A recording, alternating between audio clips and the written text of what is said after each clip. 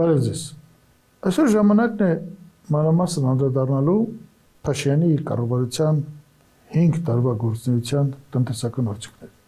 Այդ 5 տարիներն են 2018, 19, 20, 21 եւ 22 թվերը։ Պաշտոնական ռոպագանդի միջոցով դրանք մատուցվում որպես գերհաջող տարիներ, սակայն պետք է կարողանալ ապացուցել եւ համատալ այդ թվերը նախորդ հանգամանքների հետ, որովհետեւ հասկանանք հաջող են արդյոք այդ թվերը կամ ինչքանով են հաջող նման վերլուծություն կատարվել է եւ վերլուծելով մի հսկայական տվյալների հսկայական մասիվ մենք կարողացանք գալ հիմնական եզրահանգումների ամենջապես ասեմ որ արդյունքները հիաստապեցնող են գրեթե նույնքան հիաստապեցնող ինչքան ասենք այդ կառավարության գործունեությունները Հայաստանի եւ Արցախի սահմանների պաշտպանության հարցում որտեղ մենք տեսնում ենք զիջումներ, կորուստներ եւ այլն հիմա անդրադառնանք այդ տնտեսական այսպես կոչված առաջընթացին։ Նախ քննենք այ 5 տարիների ընթացքում տնտեսությունը ինչքանով է աճել։ Ասեմ ձեզ, որ ես օգտագործել եմ բացառապես Հայաստանի Հանրապետության ազգային վիճակագրական ծառայության թվերը, թվերը, որ հիմա ես ես կասեմ, բացարձակապես համապատասխանում են այդ պաշտոնական հրապարակումներին։ Եվ բանը միայն նրանում չէ, որ ես այդ թվերին հավատում եմ, թե չէ,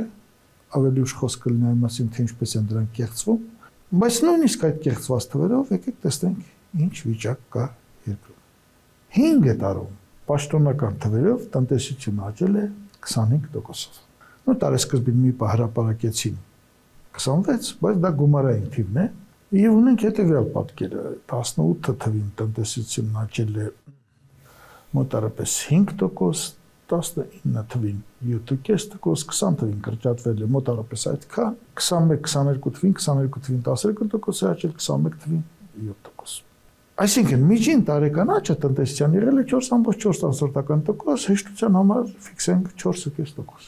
Հիմա այս 5 տարին համատենք 3 նախորդ հնգամյակների հետ նույն ազգային վիճակական ծառայության տվյալներն 2003-2007 թվերին ուրեմն տնտեսությունը միջին հաշվով աճել է տարեկան 13%։ Տեսեք, 13% եւ 4.5%։ 2008 եւ 2012 թվականներին այն ժամանակ եղել է 2009 թվականի մեծ տնտեսական ճգնաժամը, տնտեսությունն աճել է 1.5% տարեկան միջինը։ 2013-2017 թվականներին տնտեսությունն աճել է տարեկան միջինը 3.6%։ 4.5 տնտեսական աճը ինչ որ արտարոց բան չէ, առավել եւս դա հիմք չի տալիս պարոն Փաշինյանին խոսելու աննախադեպ աճերի մասին, երբ որ այն մի քանի անգամ պակաս է 2003-2007 թվերից,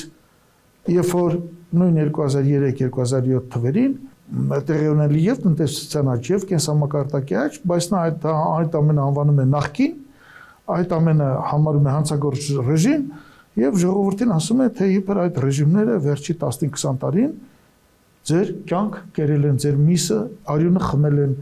Ես դրա համար իդեպ այդ համացումը վերցել եմ սկսած 2003 թվականից։ Այսինքն ընդգրկելով վերլուծության մեջ վերջի 20 տարի։ Հարցը ցակում. եթե քո տնտեսական աճը 3 անգամ պակաս է, քան թե 2003-2007 թվերին, դու ինչ իրավունքով ես այդ թվերը անվանում, որ մարդկանց արյունները խմել են։ Ինչու ես այս սուտ կեղծիքը մատուցում հասարակությանը։ Այն մատուցելով եկար իշխանության։ Ասելով որ տեսեք ես ինչքան լավ է լինելու։ Հեսա նախկինների թալանածը հետ են վերելու դուք լավ եք ապրելու։ Բարձում է որ դուք շատ ավելի վատ եք ապրում։ Համենայն դեպս ձեր առաջընթացի դինամիկան շատ ավելի դանդաղ է, քան թե նախկինները։ Եկեք հիմա պատասխանենք երկրորդ հարցին։ Այդ աճը, որ ունեցել են, ինչքան ռեսուրս է օգտագործվել այդ աճի համար։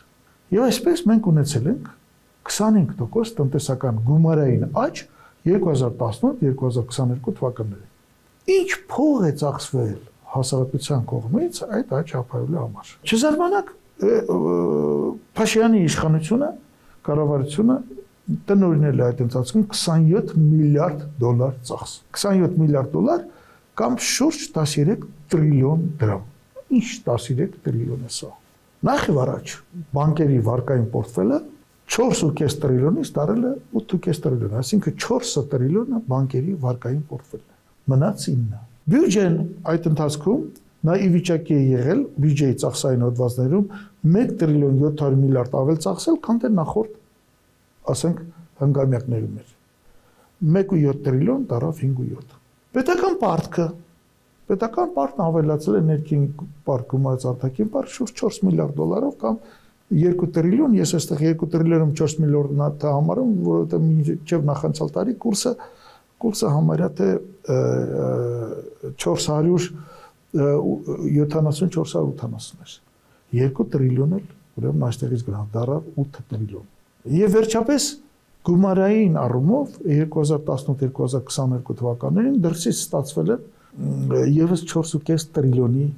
տրանսֆերտներ։ Շատերը կասեն, տրանսֆերտը ի՞նչ կապ ունի մեր տնտեսական աճի հետ, բայց ստանալով այդ փողը դրսից իր ворթուց, իր թորնիկից թոշակառուն իսկ այդպեսին է մեր բնակչության 1/3-ը թոշակառուն գնում է եւ հոգում է իր կարիքները եւ ավելացնում է պահանջարկը, այսպես կոչված։ Այսինքն դառնում է վճարունակ եւ ապրանքներ ու ծառայությունները գնում լինի պետությունից, լինի մասնավոր անձանց, լինի շուկայից, լինի խանութներից եւ այլն։ Այդպիսի ռեսուրսներ մենք չենք ունեցել։ 27 միլիարդ ծախսելով մենք երկրի հնան ավելացրել ենք ընդամենը 4 միլիարդ դոլարով։ Եթե հարաբերում ենք այս երկու թվերը, ամեն մի դոլար ծախսը կամ ամեն մի դրամ ծախսը հանգեցել է 0.2 դրամից պակաս, ավելի պակաս աճի։ Այս նույն թվերը ես համատել եմ 2003-7, 2008-12, 2013-17 թվերի ինգամետների համար։